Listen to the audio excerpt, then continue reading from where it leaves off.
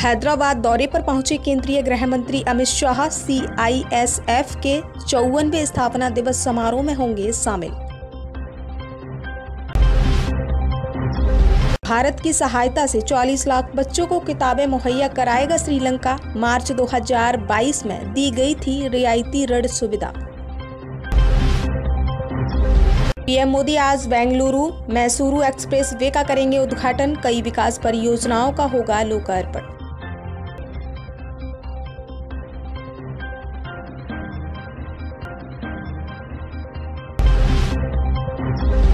ऑस्ट्रेलियाई में मंदिरों पर हमला करने वालों पर होगा बड़ा एक्शन। पीएम एंथनी अल्बनीज ने दिया आश्वासन।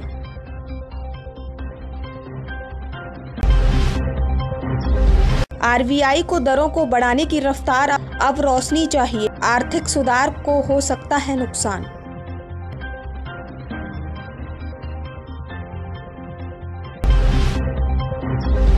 राहुल गांधी को देश से निकाल कर फेंक देना चाहिए। कांग्रेस नेता पर प्रज्ञा ठाकुर का बड़ा हमला।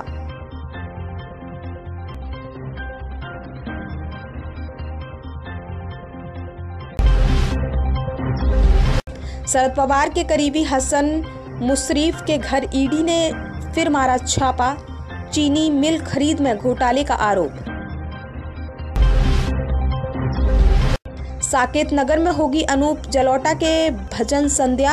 अग्रवाल नगर में निकलेगी राधा कृष्ण फाग यात्रा। द्रौपदी कोली नगर निगम अजमेर में नेता प्रतिपक्ष दो साल बाद कांग्रेस संगठन ने दी नियुक्ति। अजमेर में है भाजपा का बोर्ड।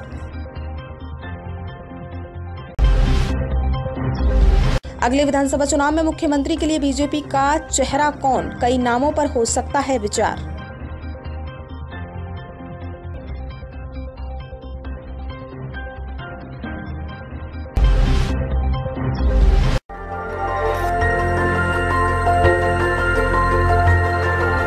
देखते रहिए डीबी भारती समाचार नज़र हर खबर पर।